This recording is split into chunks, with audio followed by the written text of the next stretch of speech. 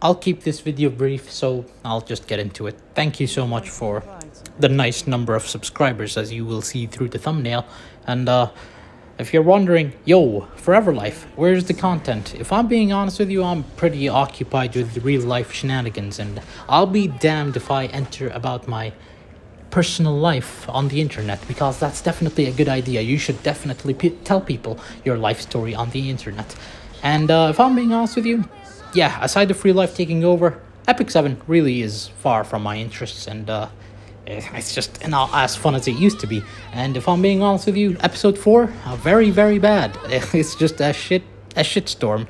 It's so badly written. I cannot, to this day, for the love of God, get over Arya slapping Aiden for following Lua, and then Juan slaps Arya for following Lua. To begin with, why does Taihu enters the picture and it just gets worse and worse and worse.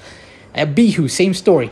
It's it's like, come on, why does why is every character stupid around Lua? And speaking of, look at that Belian countering crits and all. So I think, hey, it's a counter Belian with DPS. Let's not hit her. And then she counters again and doesn't crit all my units. Amazing, amazing. Just this game.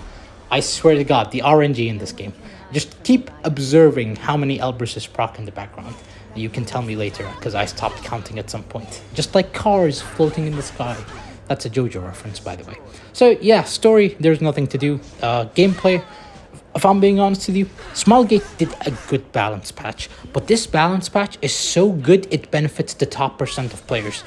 Since Jackal is a thing now, Pyrrha has resurged. And if I'm being honest with you, Pyrrha, not a very fun unit to play with. And yeah, so story's bad, gameplay doesn't feel fun. I could make Wyvern guides, but hey, there's so many out there already, and uh, it's just, it feels like I'm farming viewers, and I really don't want to do that. So instead, I feel like maybe I'll just make commentary videos where I talk about some things and uh, ramble about my passions rather than just sticking to a niche in Epic 7 that's really all I wanted to say. Thank you, and uh, see you in the future.